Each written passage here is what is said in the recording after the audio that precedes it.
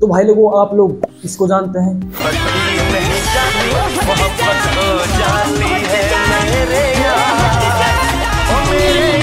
हाँ सभी जानते होंगे भाई, ये तो जेड में और आप सभी इसे भी जानते होंगे। हाँ भाई, झक्का टमे वाला लेकिन आप इस भाई को जानते हैं? काफ़ी लोग सोच रहे होंगे कौन है यार? इसे कोई नहीं जानता। कुछ भाई जानते ही होंगे, लेकिन जो हमारे मेवात के नौजवान हैं, वो सिर्फ़ मेवात के वल्गर कंटेंट देखना पसंद करते हैं। लेकिन जो रियलिटी में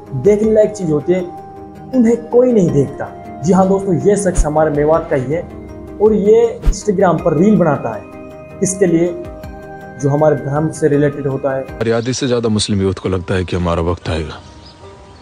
फजर के लिए खड़े होकर मस्जिद तक नहीं जा सकते लेकिन हमारा वक्त आएगा। या फिर जो अच्छा ही होती है उनके बारे में। जैसे खूबसूरत हिंदुस्तान को इन कमल वालों ने तोड़ के रख डाला।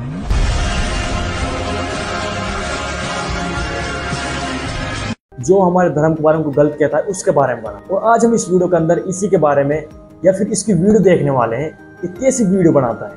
चलिए साथ में मिलकर देखते हैं। तो भाई लोगों फ़र्स्ट वीडियो ये रही। न हिंदू बनेगा न मुसलमान मुसलमान बनेगा। इंसान का बेटा है पहले तो इंसान। बनेगा। मज़हब की गंदगी निकाल अपने सीनों से। न तू खतरे में है न मैं खतरे में। ये ख्याल बदल। तब जाके तक ग्रेट हिंदुस्तान बनेगा।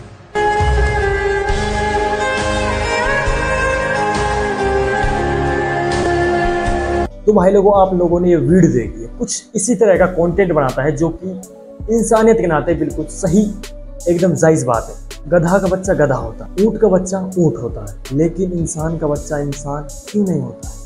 क्यों मजहबी लड़ाइयों के पीछे क्यों लगा पड़ा है? दोस्तों, अगर आपको नहीं पता है, ये लड़का हमारे मेवात का है, जो कि हरियाणा साइड का है तावड़ू का जी हाँ दोस्तों, इसका नाम साजिद अली है और इसका एक इंस्टाग्राम पर अकाउंट है जिसका नाम आप यहाँ पर मेंशन कर दूँगा। उसको जाकर आप सभी फॉलो कर लेना। तो नहीं तो आपको इसकी लिंक डिस्क्रिप्शन में मिल जाएँगे। इंशाल्लाह आपको भी इसकी वीडियो ज़रूर पसंद आएगी, क्योंकि ये एक रियल कंटेंट बनाता है हमारे धर्म। तो अगली वीडियो देखते हैं। अगर हिंदू बनना है तो विवेकानंद बनो और मुसलमान बनना है तो doctor A APJ Abdul Kalam बनो। ये बात देश के नौजवान के लिए। देश तेरा है, शोक से देशभक्त बनो। अंधभक्त नहीं तो दोस्तों यहाँ पर एक बिल्कुल सच बात कही है कि अगर देश का हिंदू बनना है तो विवेकानंद बनो अगर मुसलमान बनना है तो doctor A P J Abdul Kalam. इनसे कुछ सीखो कि एकता में क्या ताकत होती है। नेक्स्ट वाले देखते हैं। तुम तो बकरा ईद से भी नहीं समझे कि हर जगह मर्द को ही कुर्बान होना होता है। बिल्कुल राइट नेक्स्ट कमल के जैसे खूबसूरत हिंदुस्तान को इन कमल वालों ने तोड़ के रख डाला।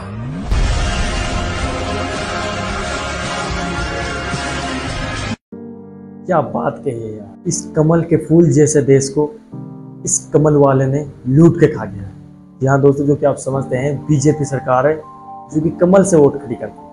लेकिन बीजेपी ने पूरा देश बर्बाद कर दिया। और फिर भी तीसरी बार भी किस्मत फूटी बीजेपी ही है। नेक्स्ट नाम में बहुत सारे लोग कहते हैं बिस्मिल्लाह और रहमान रहीम बलि दे दी और अल्लाह ताला खुश होगा। अरे अल्लाह ताला यदि खुश होगा और उस बकरे की जिसकी आपने बलि दी है उसकी रूह जन्नत में जाएगी तो आप अपने बच्चे की बलि दो। उसको पहले जन्नत में जाना है ना। आप अगर कुर्बान हो जाते उस रोज हज़रत इस्माइल तो मुसलमान बड़े शौक से अपने बेटों की कुर्बानी देते। मगर गोबर खाने वाले जाहिलों के ये बात बिल्कुल समझ में नहीं आनी। राइट ब्रो क्या जवाब दिया है यार? इसके लिए लाइक का बटन ज़रूर बनता है यार। बिल्कुल सही बात है जो कि कुर्बानी के तौर पर हर कोई यही सोचता है जो कि हमारा हिंदू भाई होता है कि जानवरों की बलि क्यों दी जाती है? बलि नहीं हम तो कुर्बानी कहेंगे बेजुबानों को। क्यों काटते हैं? भाई हर धर्म में अलग होता है जो कि हमारे धर्म में कुर्बानी बकरीद की जाती है। नेक्स्ट अगली वाले देखते हैं। और मेवात हिंदुस्तान की रीढ़ की हड्डी है। ये मैं नहीं कहता महात्मा महात्मा गांधी। ने कहा था। क्या कंटेंट बनाता है यार? इसलिए मुझे पसंद आया इसलिए इसके ऊपर वीडियो बना रहा हूँ मैं। गजब कंटेंट है प्लीज़ चेकआउट ज़रूर करना इस बंदे को खतरनाक भाई साहब। नेक्स्ट मंदिर में दाना चुग कर चिड़िया मस्जिद में पानी पीती है। मैंने सुना है राधा की चुनरी कोई सलमा बेगम सिलती है। एक रफी था किसी महफिल में जो रघुपति राग उगाता था एक प्रेमचंद्र जो बच्चों को ईदगाह सुनाता क्या लाइन कही यार दिल को छू गए भाई कमेंट में राय ज़रूर देना। इस लाइन के बारे में बिल्कुल ग्रेट बात है। नेक्स्ट वाली देखते हैं मणिपुर में इतने बड़े हादसे न जाने कितने लोग मरे कितने लोगों के घर उजड़े। रिसेंटली में हुआ ट्रेन एक्सीडेंट जिसमें दस लोग मरे और न जाने कितने लोग घायल हुए। लद्दाख का मामला, भारत और चीन की सीमा का मामला और कश्मीर में हुए टेररिस्ट अटैक का मामला, नीट का पेपर का लीक होना, वगैरह वगैरह, ना जाने कितने टॉपिक्स हैं इंपॉर्टेंट इंपॉर्टेंट बात करने के लिए। लेकिन इन अंधभक्तों को सिर्फ़ मुसलमानों के पीछे लगना है। ट्रेंड चला रहे हैं कि मुसलमानों से बकरों को कैसे बचाएँ? अरे यार। मतलब एक दिन, जिस दिन हिंदुस्तान को इतने सारे फ़ायदे पहुँच रहे हैं, फिर तुम्हें उनसे इतनी मिर्ची लग रही है यार। इस एक दिन में हिंदुस्तान की इकोनॉमी को एक लाख करोड़ तक का सीधा सीधा फ़ायदा पहुँचता है वो भी डायरेक्ट किसान भाइयों को। ये कैसे बर्दाश्त कर सकते हैं? और प्लस में लोगों को, गरीब लोगों को चलो नेक्स्ट वाली देखते हैं। बिल्कुल राइट बात कही है, जो कि जो कुर्बानी में बकरे हलाल किए जाते हैं, इनको सिर्फ़ मुनाफा होता है, वो हमारे हिंदू भाई होते हैं, मुसलमान भाई होते हैं, जो कि बकरों को पालते हैं और फिर उनको शहरों में जाकर सेल करते हैं। इनको मुनाफा सिर्फ़ किसान लोगों को होता है जो कि इन बड़े लोगों से देखा नहीं जाता। चलिए नेक्स्ट वाले देखते हैं। कभी कभार लगता है कि मैं वो शख्स हूँ जिसने अपनी हज़ारों ख्वाहिशें बड़ी खामोशी से मार डाली। मर्दों की सभी यही कहानी होती है। क्या लाइन के लिए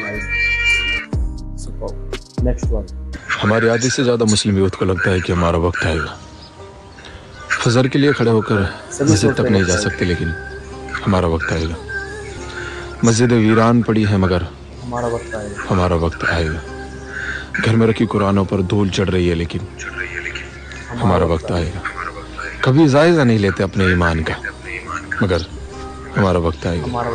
कभी इस चीज़ पे गौर व फ़िक्र नहीं कि हमारे आने वाली नस्ल के लिए दिन बाकी है लेकिन हमारा वक्त आए। क्या बात कही भाई साहब। बिल्कुल राइट बातें हैं, जो हमारे मुसलमान भाई है, वो सब यही सोचते हैं कि हमारा जो फ्यूचर में दस बीस साल, हमारा वक्त आने वाला है, जो कि हम ही राज करेंगे देश को। लेकिन नमाज़ कोई पास नहीं जाता है।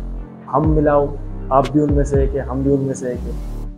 जो घरों में कुरान रखी है उनके ऊपर भूल जमी हुई लेकिन पढ़ के कोई राज ही नहीं। जो कुरान जानते हैं, वो भी भूल चुके हैं, लेकिन हमारा वक्त आएगा कैसा आएगा तो मैं बता रहा था आपको ये कुछ इस तरह के कंटेंट बनाता है। ये तो कुछ गिनी चुनी वीडियोस जो कि मैंने इसके पेज पर से उठाई है। ऐसी तो बहुत सारी वीडियो जो कि आप इसके पेज पर जाकर देख सकते हो। इंस्टाग्राम अकाउंट पर जाकर देख सकते हो। आपको बहुत सारी ऐसी वीडियो मिल जाएगी। लेकिन नेक्स्ट वाली देखते हैं चलो। वालेकुम साजिद। जाओ सरपंच अपने मेरे बाप को दिन की वीडियो बनाना नसीब बनाना के हाथ में। भाई साहब कोई बात बड़ी है। जो कि फॉलो ना करो फॉलो कर लो कैसे ना हम अपनी Follow कर लो। एक लास्ट वाली वीडियो रह रही है उसको ज़रूर देख के जाना ठीक है ना? गर्मी लग रही है मुझको भी तुमको लग रही होगी लेकिन क्या करें आप? सब्सक्राइब कर देना चैनल ठीक है मेहनत लगती लास्ट वन जंगल कट रहा था और सारे पेड़ कुल्हाड़ी को वोट दे रहे थे। सुन रहा आप लोगों पेड़ों को लग रहा था। कि कुल्हाड़ी में लगी लकड़ी हमारे समाज की है। समझ रहे हो से क्या सीख मिली आपको? ये कुल्हाड़ी की कहानी थी, ये बिल्कुल इस पर फिट बैठती है और उम्मीद करता हूँ ये वीडियो आपको पसंद आएगी पसंद आए तो प्लीज़ लाइक कर देना और चैनल पर नए हो तो सब्सक्राइब ज़रूर हम मिलेंगे किसी नई वीडियो के साथ।